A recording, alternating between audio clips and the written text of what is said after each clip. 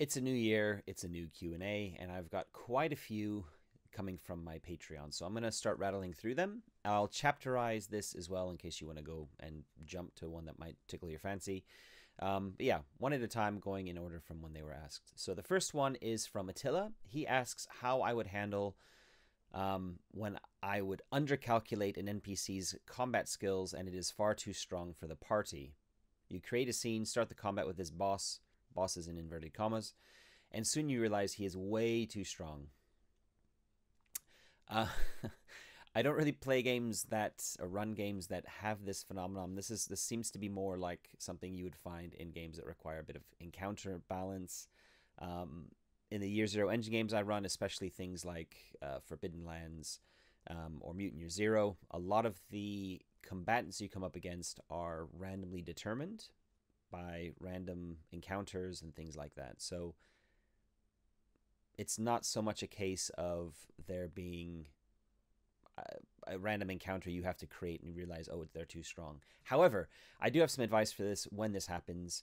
Um, basically, the way I would run it is I would telegraph to the players that this enemy is very strong, and I would give them opportunities to retreat.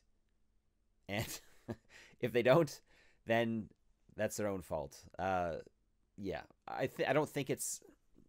I mean, you've said when you un- undercalculate, undercalculating makes it sound like you've made a mistake, and I don't think that is necessarily a mistake. I think having um, enemies in the world that are stronger than your PCs will make the world actually feel a little bit more dynamic and alive, rather than feeling like a uh, a board game where you're or like a video you know there's a lot of role-playing video games like skyrim for example um, unless you mod it heavily where every enemy you're facing gradually levels up with you. So there's always this this balance in the world. So you're kind of you're kind of yeah you're kind of free to to go through the story without the world ever feeling like it's too dangerous for you. It feels like it's always kind of on your level, and the only time you're going to die is if you make some mistakes. Whereas games like, yeah, anyway, and there are other games, there are other role playing games that, uh, like the Gothic series, for example, where that's not the case, and certain areas of the map are um, leveled, if you will, beyond you. And the you know, if you face a bandit, a bandit's going to be relatively low level at the beginning and also towards the end game, if you will, when your when your character is quite powerful, um, and that makes the world feel a little bit more alive and a little bit more normal. Whereas you know if you're encountering a wolf, or I don't know, yeah, let's just use a wolf as an example.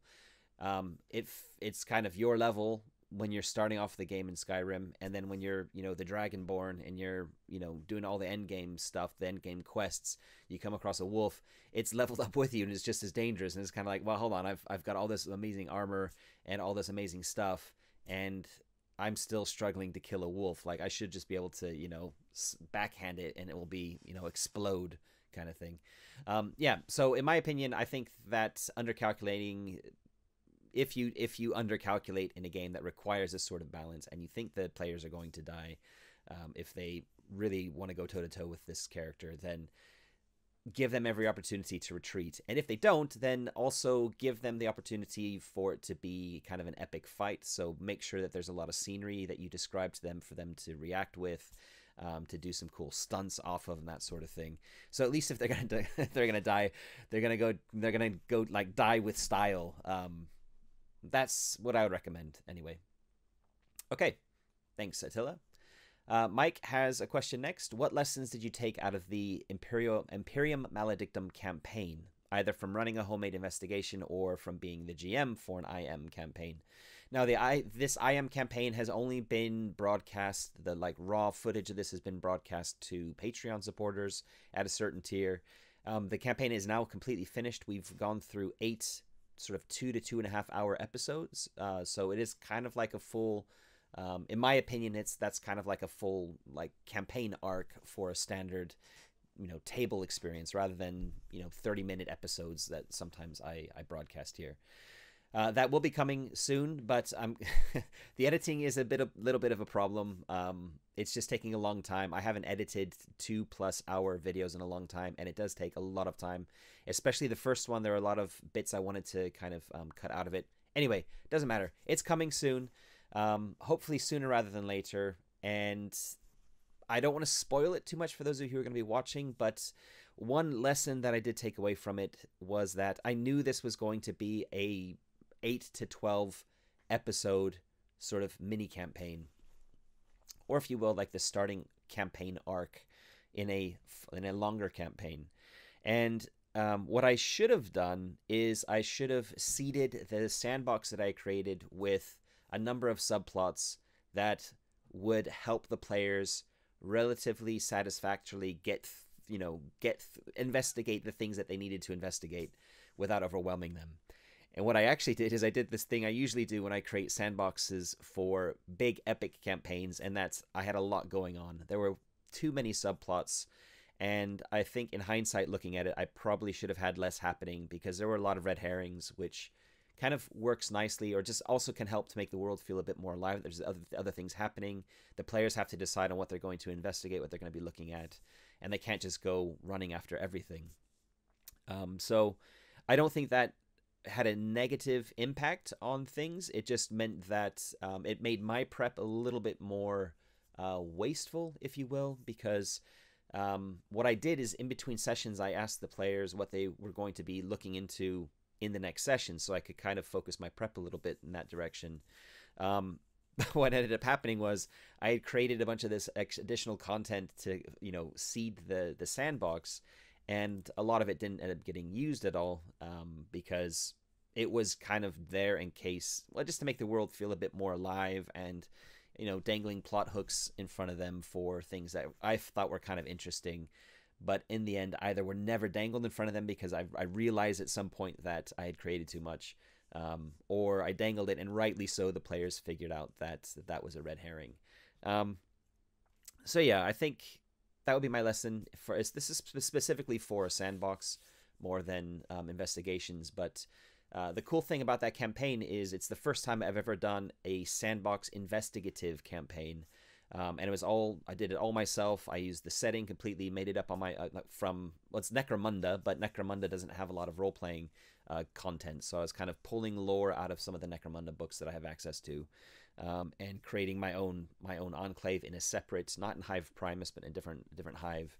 Um, and it worked really well, actually. Um, you know, most investigative games that you play, like uh, Call of Cthulhu or Delta Green or Tales from the Loop or Vaesen, they tend to be fairly. Um, I don't want to use the word railroady because they're not really railroaded, but they they tend to be relatively linear or if they do have multiple options, the options kind of branch out and then come back together.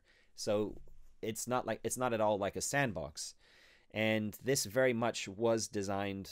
I I came up with a concept as a sandbox. They're in an enclave, you know, a, a big area in Necromunda, and they're investigating something. And they have there's multiple settlements. They can go wherever they want, and I've got things going on in each one that might point them in the right direction for things that you know to figure out what's going on. Um, so there is kind of like an endpoint. They need to find out what's going on. So that's the endpoint. Here's their starting point, and to get there, they can literally just go everywhere. There's clues sprinkled all throughout, um, and red herrings, and yeah, all sorts of different stuff. So, yeah, um, it was a lot of fun. I think that would work really well for a, a bigger campaign where, like, if I was if if I wasn't broadcasting something and had to think about you know keep things interesting for the channel. So change the the games I'm playing from time to time. Um, I probably wouldn't have changed much. The lessons learned would be that uh, more of the same kind of. It worked really really well. Um, but at the end, it felt like I had this amazing content that I'd prepped. They'd kind of dip their toes in it, come to the end of their of their campaign arc, and I have all this prep I could still use, uh, you know, going forward. And uh, yeah, it feels a little bit like uh, I don't know. It's a bit of a pity that it's it's not necessarily going to be reused. I can, of course, um, you know, grab that grab that prep and use it, change it, and use it in a different game. Um, but yeah. Anyway, that's a quite a long answer. That's really the only lessons to take out of it. I loved the um, Imperium Maledictum rule set. I did do one um, house rule, which we did halfway through the campaign when I realized that running uh, a big battle or big combat with multiple NPCs and two players is very boring if you run it by the book. So I came up with rules for NPC versus NPC combat to make things be decided with a single dice roll just to speed up that element of it and get the focus back on the players. Um, we did kind of go back and try something different later in the campaign where the players were themselves controlling one of the NPCs, like an allied NPC. Um, so they're still kind of rolling and to be a little bit more interesting, but then it did still feel like felt like it took a bit too long. So, um, yeah, in terms of lessons learned from from being the GM for an IM campaign, I think I would also continue to use that house rule. Um, and if I had a big battle, to have the NPCs, NP, NPC, NP, NPC versus NPC rounds would just be handled with a single dice roll to keep things moving. Um, other than that, yeah, I really enjoyed the system. It's it's like a much better, more streamlined version of Warhammer Fantasy Roleplay Fourth Edition uh, but set in 40k and really low kind of power level, which I really like. Uh, one of one of the things I didn't like about Wrath and Glory is it was a little bit too um, heroic, and it kind of lost its. I, am going on. A, I'm going off on a side tangent. I didn't really like Wrath and Glory too much. I felt like there's too many too many options, which kind of diluted the entire experience. Um, whereas I feel that Imperium Maledictum really hits the nail on the head for kind of gritty, uh, low level 40k and I'm really looking forward to what you know more books that come out in that line. Okay, thanks, Mike. Next question is from your evil twin. In most Year Zero games, gear gives the player bonus dice. A great weapon like an assault rifle might grant three bonus dice. This also represents weapon condition. Weapons that get damaged lose a bonus die, and if you run out completely, the weapon is broken. Well, that's only true in Mutant Year Zero and Forbidden Lands. The other dice pool Year Zero engine games do not have um, gear that degrades uh, through weapon dice. Um, it's just those two games. Anyway, however, in Twilight 2000 and Blade Runner, weapons do not have bonus dice, and in Twilight 2000 and Twilight 2000 has a separate step die mechanic for representing weapon condition, which isn't rolled as part of an attack. Yep, that's called uh, reliability, I believe the stat. That's correct. Um, does this mean that, generally speaking, the chances of su- successfully hitting an enemy and are lower in Twilight 2000 and Blade Runner than in games like Forbidden Lands, Mutant Year Zero, Alien, Walking Dead, etc.? Yes. uh, you do roll ammo dice in Twilight 2000, not in Blade Runner, but in um, Twilight 2000. But the ammo dice, if you get successes on them, they don't count towards hitting your target. They count towards either some sort of condition or spreading the um, damage across multiple enemies or just increasing damage. Um, so yeah, you're absolutely right. The chances of hitting an enemy in uh, the step die systems are lower because you're not getting any additional dice from your gear for doing that. That was the question. That's the simple answer. Um, I haven't looked at probabilities for it or anything like that, but it, that is going to be the case. I've done a, a separate video when I'm looking at Blade Runner's step die um, probabilities and comparing dice pool probabilities to step die probabilities, and uh, the the numbers really are very very similar in terms of probabilities of success when you're comparing similar skill and attribute levels in both systems. So when you're thinking about that, and there's only like one maximum two or like one to two percent difference in the two systems, you then start adding additional d6s for um, you know even one additional d6 to um, a dice pool game, it's going to significantly alter the odds and it's going to start going up. And the more gear dice you get, the higher the chance, uh, the the better the chance is going to be. So, yeah, that's how it is. And uh, I don't wouldn't say that's a that's a negative necessarily. It's just the the way the games have been designed. Um, and I do feel that Twilight 2000 feels a little bit more difficult as a result of that. Um, but there are a lot of things you can do tactically in that game to kind of make up for it, which um, is all kind of left to hand waving in the more uh, lightweight, less crunchy iterations of the dice pool games. They all have their plus and their pluses and their minuses, their the pros and their cons. Um, my favorite system probably is Alien of all of the um, of all the Year Zero Engine games, looking at not just the mechanics but also the game system or the game world, the setting, the adventures, and all that kind of stuff. Um, I just really love Alien, and uh, I think it's a really really amazing game. That that's not the question you're asking for, but anyway, thanks, your evil twin. I hope that answers your question. Um, Attila is asking another question: Was there a game or a campaign that I needed to leave for whatever reason, which saddened you, and I wished I'd stayed till the end? Um, most games I've left, I've left because something wasn't right with the group. In fact, I think that's probably, yeah, probably like ninety percent, maybe more, of the games I've left. There have been one or two where I've had to leave because of scheduling issues. Um, in fact, with uh, my friend Ed, um, there were some online games I was trying to play with him, and just because of how busy I am, I had ended up having to having to drop out of them. So those were some. There was a Forbidden Lands game I was playing with Ed and some other people, including Harry, who's been on the on the channel quite a few times, uh, which I was really enjoying. But I had to, I just didn't have enough time to devote to it, unfortunately. So yeah, um, I mean that's kind of life. It does sadden me a little bit because it's it's quite a fun social thing to be to role play with other people and people that you you consider friends. Um, there's one instance where um, I did leave a game and uh, I, I felt saddened for a different reason. Um, and that's when I was coming back into role playing in like 2008 after, you know, about a decade and a half of, of being away from the hobby. Um, and I found a local group in Bristol where I was living at the time, and it was like a meetup, a Bristol meetup. And we were meeting in like a pub. There were several games going on, and I got myself into a game of Tribe 8.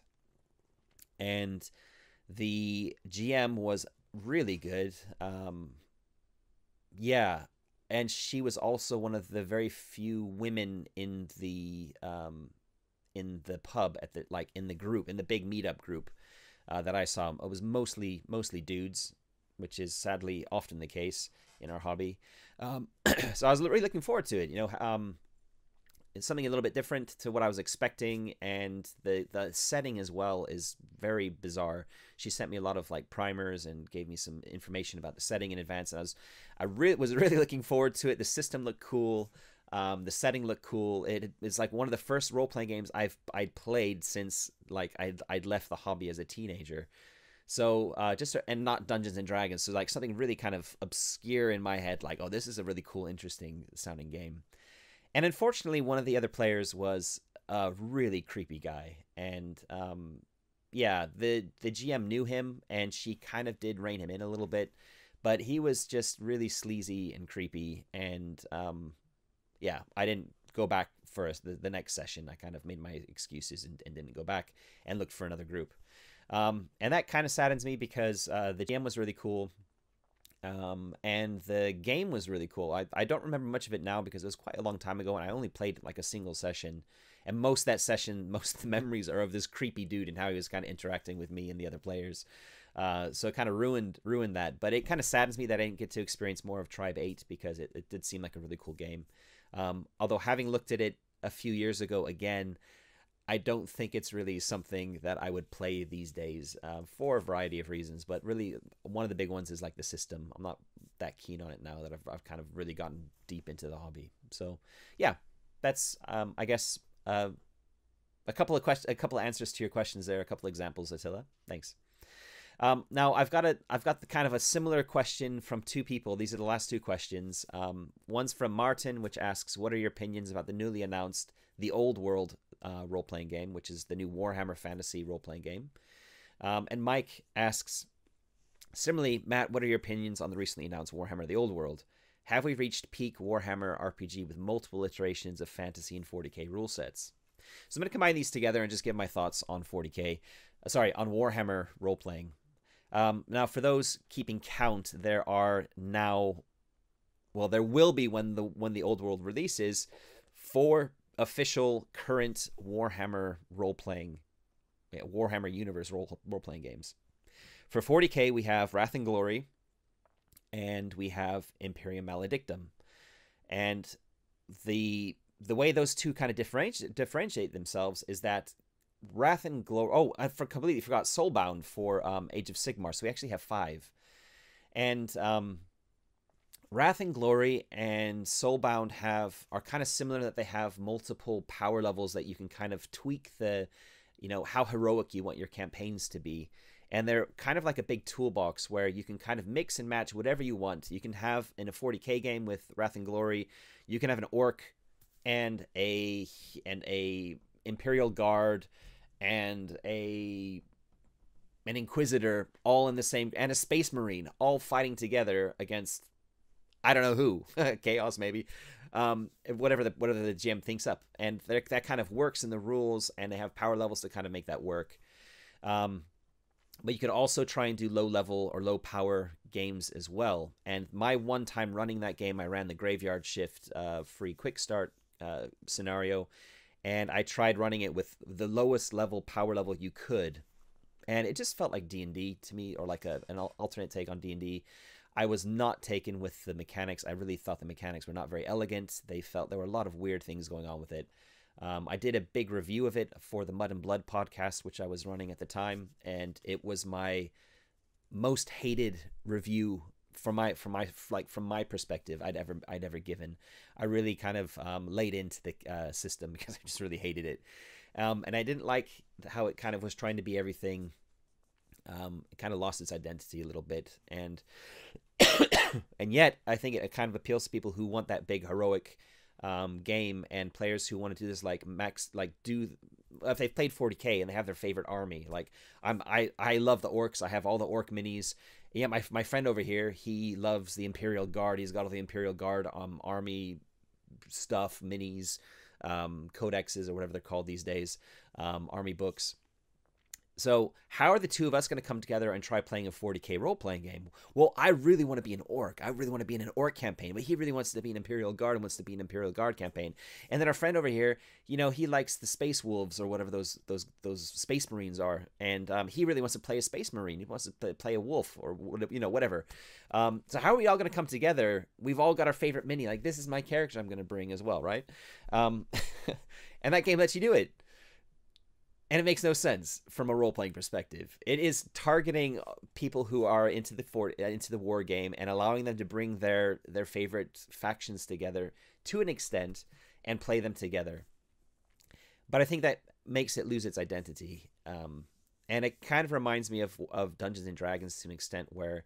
Um, most Dungeons and Dragons campaigns that I've come across, people come up with their character in isolation, in a vacuum, and that's why you end up having parties of like here's my tiefling bard with a backstory of four pages. And then the next player is like oh here's my here's my goliath barbarian with also with four pages of of background. And then the next person's like oh yeah i made a i made a halfling um, swarm druid and i haven't i haven't thought of my backstory yet. I just thought it looked cool. Or um, you know I, I i spent about four hours in forums looking for the perfect like druid to build and you're like, you know, as a DM for Dungeons and Dragons, you've got to pull these really weird characters together and make a campaign. Like, how do they work together? Like, it, I don't know.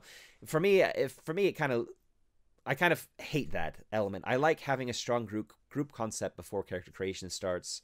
Um, and in the games I run, I tend to pitch a campaign at a specific a specific player group and say, "This is what the campaign's going to be about." Often, I have the group concept built into that. Um, so, like with Imperium Maledictum as as an example, when I was running that, one of the way character creation is meant to happen with that game is that the uh, character the players choose their patron together, and then they roll up their random like backgrounds and stuff. and then they they're kind of determining what their campaign is going to be about. But what I did is I picked the pa- I picked the patron, and I said this is what the campaign is going to be about. And then i let some of the details of the patron i let the players decide on that. Um, but then when they were creating their characters they had to think about well, okay i'm i'm in uh, like a private investigator working on behalf of the merchant guilds of necromunda. How does my concept work into that? And i kind of came up with some tools. In fact my my session zero is bringing all that together basically for for the campaign and you can watch that on the channel um, but that's how I prefer to do things, and I don't think that Wrath and Glory really really addresses that. It just allows I mean, a, a, GM can basically just take that toolbox and say, right, we're going to be running a game where you're Space Marines, make your Space Marine character. But because the the way it works, they would there's not a lot of um, there's not a lot of variety between the different archetypes. So it's kind of designed in a way where you want to have like a Space Marine plus a um, Adeptus Sororitas, the Sisters of Battle, whatever they're called, um, plus a Adeptus Mechanicus character. So you kind of like like in war like in D&D where you need to have like or other role playing like uh, online role playing games. Who's the tank? Who's the healer? Who's the damage dealer? Um, and who's the the backstabbing, sneaky, high DPS character? That sort of thing, right? Um, it's kind of it feels like it's designed around that, and I just don't like that. I, I prefer my role play to be very narrative, and that's where Imperium Maledictum fits in. Imperium Maledictum is very much aimed at the story side of things. The patron patron comes with a lot of narrative hooks that bring the players together, who they're working for, and also is a great tool for a GM who doesn't really know what they're going to do with um, with IM to you know have the players kind of dictate what they want to play. Um, and it's also very low level, so there's it's just dripping with flavor and theme and um, it kind of everyone it all comes together. You can only play humans so that you're not mixing together like xenos and humans together and kind of weird. You can mix a lot of different factions together so you could still have like someone from the um, imperial from the um, adeptus mechanicus alongside um, well literally anyone from within the human sphere of of 40k so i like that a lot more. Um soulbound is kind of just a weird thing where it feels like D&D it feels like it's targeting D&D but I really like so but it does have different power levels as well that you can play with. Um, but if you want to play epic fantasy I personally think it's probably the best epic fantasy um, or like heroic fantasy uh, rule set out there right now it's really good I've played a couple of sessions with my home group when it first came out and I really really liked it. It's a it's a dice pool system, a d6 dice pool system that feels kind of similar to the Year Zero engine. Um, it's a little bit crunchier than most of the Year Zero engine games, but you kind of need that for like a sort of like tactical, um, heroic fantasy. And yeah, it does it really well. the The setting is is absolutely bonkers. It's just very weird. I didn't get my head around it when we played. Um, so if, for me, Soulbound isn't really a game I would ever play because I'm not that keen on the setting. Um, and what I think now, look, so talking about those and putting those to the side, now we come to Warhammer Fantasy. Uh, prior, you know, pr- pre age, um, Age of Sigmar, you know, end of the world, end times, the world, you know, everything it kind of smashes up and goes into this crazy setting. So fantasy is basically fourth edition Warhammer Fantasy Roleplay and the newly announced The Old World. And how are those two going to exist in the same place simultaneously? That's the question, right? What is the old world going to be? And I look at the other offerings they've done, Cubicle 7, and I think they're going to use it as a medium for. Um, I think I think they're probably going to do two things. I think they're going to create an alternate rule set to to fourth edition because they kind of have to, um, and they're also going to create content that will be usable for fourth edition i think if people want to play in this earlier time um, in this er- earlier era of the of the warhammer fantasy um, history i think. I don't know. I don't know about that last part but i do think they're going to be making a new rule set. And when thinking about what they're going to do i think they're going to be going with something that's a bit more heroic because that's that's the opposite to what fourth edition is. Fourth edition is very much um, mired in the mud initially, at least, where it, it should take you a while to work up the careers up to getting into the kind of very powerful advanced careers. Um, but if somebody plays D and D and they want to play in the Warhammer, like let's say there's a there's a there's probably a lot of war gamers who played uh, who are going to be playing the old world, but they're also D and D fans. They're probably never going to play fourth edition because they're gonna it's so mired in the mud um, it's so low powered that D&D players are probably going to be like, "Oh man, this is really depressing and I'm failing like all my rolls." um, which is a which is a, a thing, you know, Warhammer it, like Wolfrup is full of just failed rolls like a lot of a lot of like gritty games are. Um, which isn't a bad thing. It's just a very different play experience. So I think I personally think that it's going to be it's going to be targeting the the Warhammer Fantasy setting at D and D fans, and I hope they're going to use the what they're calling the C7D6 system, so Cubicle 7's D6 dice pool system, which is used in Soulbound. Um, because it's an in-house system, it feels really elegant, it feels really nice, and I just love dice pools, of course. Um, so if they do that, I'll be really happy. Um, however, I did find a blog post from last September where Cubicle 7 said that they're um, looking for writers to help them with some of their C7D20 systems. So they're basically taking the D&D 5th edition, um, like open license now, whatever it's called, and they're creating their own games like Victoriana. And there was another specific one they mentioned, I've forgotten. And they said, plus some upcoming unannounced titles. And the only thing they've announced for the C7D6 one, one that I hope they're going to be using, is the second edition of the Laundry RPG. So I kind of because they're because they're using both dice systems in their in-house systems. Theoretically, in-house fifth edition isn't really in-house in my opinion, but they they have these two die like systems that they're kind of working on themselves, applying to new games. It could go either way, I think, um, and I think I could see the temptation of creating the old world as a fifth edition, D and D fifth edition rule set. I just really, really hope they don't because if they do that, I'm not going anywhere near it because I'm just not a big fan of of how fifth edition works. Um, so yeah, th- those are my opinions. Those are my thoughts. Those are my speculations on the old world. And to answer Mike's last question, have we reached peak Warhammer RPG with multiple iterations of fantasy and 40k rule sets and Age of Sigmar? I think the only place left until we hit peak is if they come out with some Age of Sigmar second one, because then there's two two role playing games for 40k, two for two for fantasy, and then Age of Sigmar only has the one in, in you know in the middle. Um, so I, but Age of Sigmar is pretty epic and heroic in its scope, so I don't really see them doing something different with that.